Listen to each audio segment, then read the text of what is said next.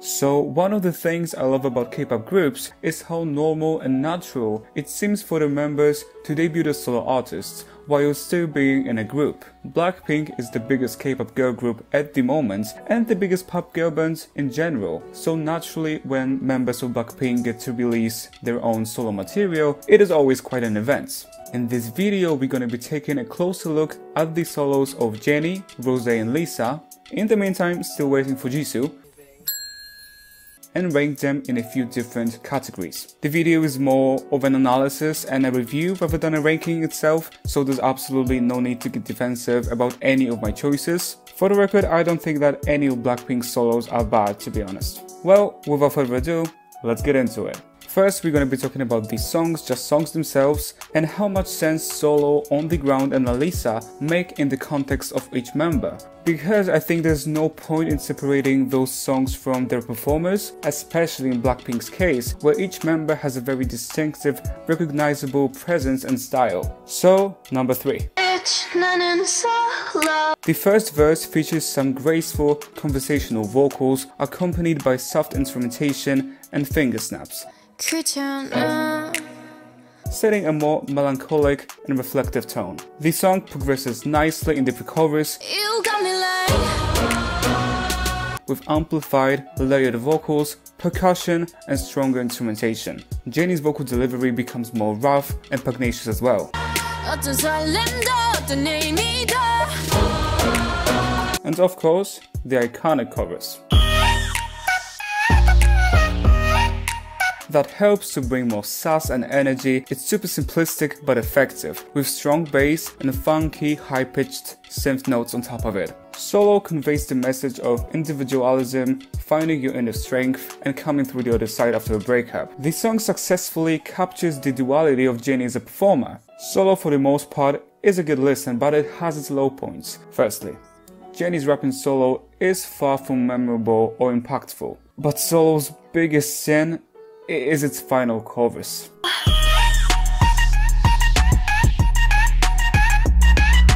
It sounds horrible. It feels empty, unoriginal, and lazy. It really seems like at that point Teddy ran out of creativity because this is almost offensive. I'm not saying it ruins the song, but it surely takes away from the listening experience. And the fact that it comes after a great bridge is even more upsetting to be honest.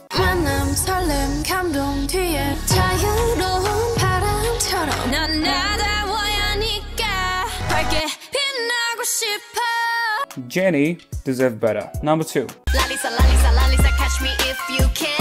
the most recent release. Lalisa is one of those songs that you absolutely cannot separate from the performer, and rightly so, it's called Lalisa for a reason. In Blackpink, Lisa is the member of versatility and the unexpected. She's the wild card and a secret weapon of the group. Lisa does it all because she can and she does it well. She's an ace and a stylistic chameleon, and the song recognizes Lisa's strengths and fully capitalizes on them. Lalisa takes a few turns, switching between different styles and sounds.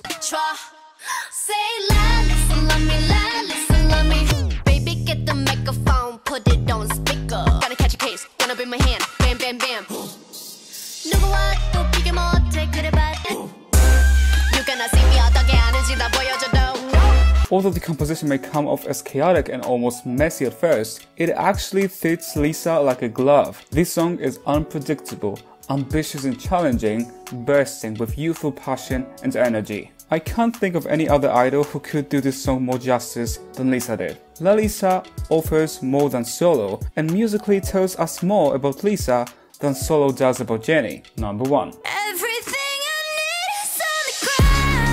On the ground, trust Rose and her voice. Her emotive, dynamic, and detailed vocals become the medium for the song's lyrics. On the ground establishes Rose as a singer who not only hits the right notes, but also is a great emoter. The song is very much intact with Rose. To me, it feels the most authentic out of Blackpink's solos so far. It is mellow, moody, reflective, melancholic, but celebratory and triumphant at the same time. On the ground is wrapped with acoustic guitar, soft percussion, light fresh electronic notes, clear harmonies, and background vocals.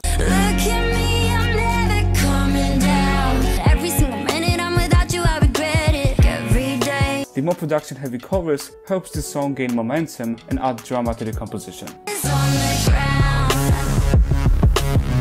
The bridge is absolutely wonderful, I love it. Overall, I do believe On The Ground deserves its spot here. Moving on to the music videos. The third spot.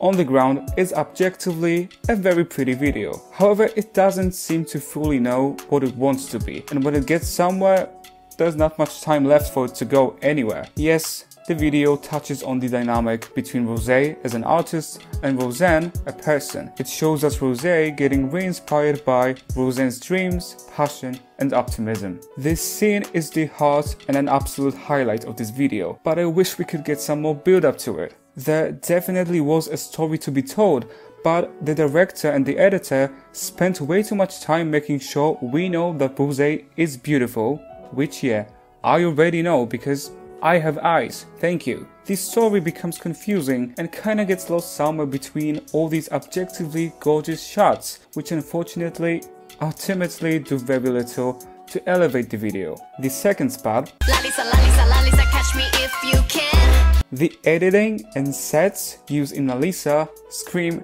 this is a music video. The video is very cohesive with the song. Since the song itself jumps around different sounds and styles, so does the video, playing with different sets and visual tones. The colors are vibrant and saturated, the editing is lively, slightly chaotic, but not too overbearing. Lalisa kind of feels like an exclusive, over-the-top performance. Lisa commands the stage with her confidence and strong, unwavering presence, looking directly at us through the camera lens in almost every shot. Number 1 Nanan Sahla. Okay, I'm so excited to talk about this one. Where Solo falls short as a song, the music video makes up for it. It really knows what it's doing. Solo is by far the most cinematic out of the three videos here in terms of storytelling and composition. The shots are long, allowing us to really see what's going on on the screen and get invested into the storyline. The transitions are very clean, the camera work is minimal. All of this makes Solo flow easily and smoothly, no matter what's going on on the screen. The cinematic editorial vibe combined with some of Jennie's signature visual elements like luxurious designer fashion and colors which include simple, chic whites, blacks, deep blue, shades of red creates a very strong and well-defined visual identity. Let's quickly go through the lyrics. None of these songs have particularly strong complex, deep lyrics. I am not saying that they have to have them, but still, they're pretty straightforward, not very poetic, minimal in the use of poetic devices. They're functional, often kinda cliche, they carry the tune well and can even be pretty memorable in places. The iconic play on words in solo, or On the Ground's lyrics may come off as the most touching and personal, mostly to its more reflective overall tone. Rose is also credited as a co-writer of this song, although it is impossible to tell how much contribution she actually had to the lyrics, her contribution may be the reason why On the Ground feels a little closer to heart. My favorite lines have to be, funny when you want it, suddenly you have it, you find out that your gold is plastic. And I worked my whole life just to get right, just to be like, look at me, I'm never coming down. On the Ground's lyrics aren't exceptionally artistic, they surely leave something to be desired, however they give us something to dive a bit deeper into. Like I said earlier, I don't think any of Blackpink's solo is bad. Just like the members themselves, they have different strengths and assets. Jennie's solo may be the most memorable solo so far, while my personal favorite is Rosé's On The Ground. Well, of course, things may change when Queen Jisoo debuts her solo material, but for now, Rosé is my favorite. I need to hear your thoughts and opinions on all this.